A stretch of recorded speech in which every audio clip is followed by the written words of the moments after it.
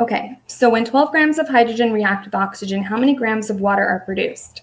The first thing that I did here is write down the amount of grams that I'm given. So 12 grams of hydrogen is what I'm going to start with.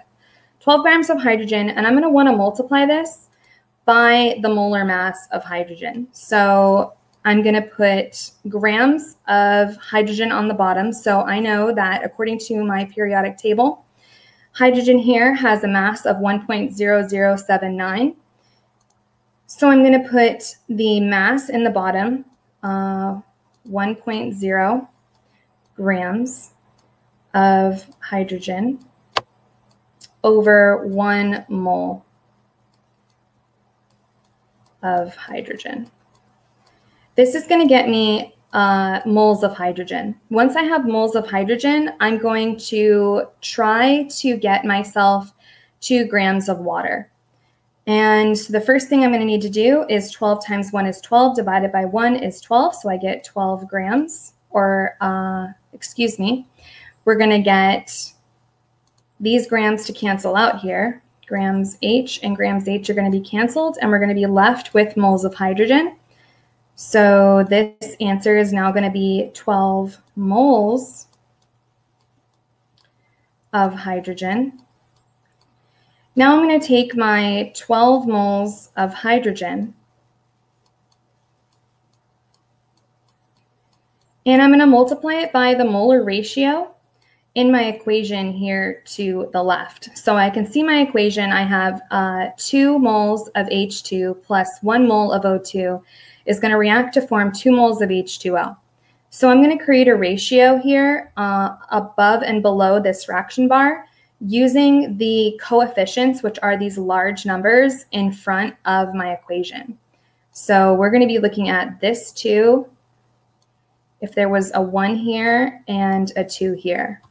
So because I have 12 moles of hydrogen on the top here in my uh, fraction, I'm going to put my moles of hydrogen on the bottom so that they can cancel out. So this is going to be moles of hydrogen here on the bottom. And I can see that I have a 2 here for my moles of hydrogen in my equation. So this is going to be a 2.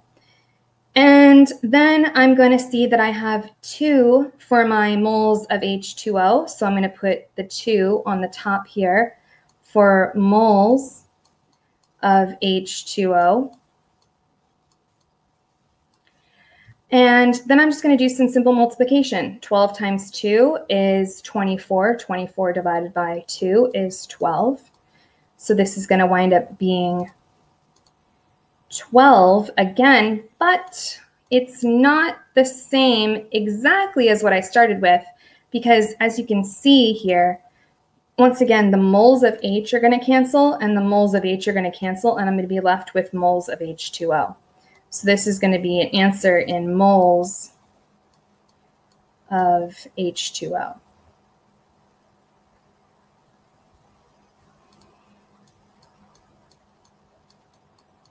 Okay. And now I'm going to take my moles of H2O and I'm going to use my molar mass of water to finally get me to the grams, which is what I wanted. Grams of water produced. So I'm going to take my 12 moles of H2O. And I'm going to multiply this by the molar mass of H2O. So the way I'm going to find the molar mass of H2O is I'm going to go here. I have hydrogen is 1. And then if I look on here, oxygen is 15.99. So I'm going to round that to 16. So let's go back to this board and let's write down some interesting facts that we're going to need. We're going to say that hydrogen is equal to 1 gram. And we're going to say oxygen is equal to 16 grams. And we know that H2O is going to have two hydrogens. So this is going to be times 2 equals 2 and one oxygen. So this is just going to be times 1. So this is just going to be equal to 16. So we're going to add both of these up to get the molar mass. And we're going to get 16 plus 2 is 18.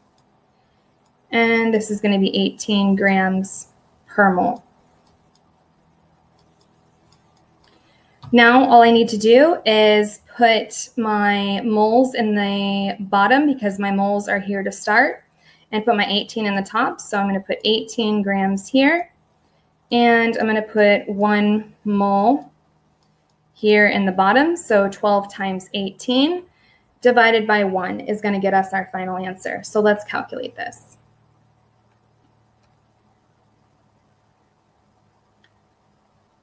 And 12 times 18 is going to get me 216. So my ultimate mass is going to be 216 grams of H2O. Thank you.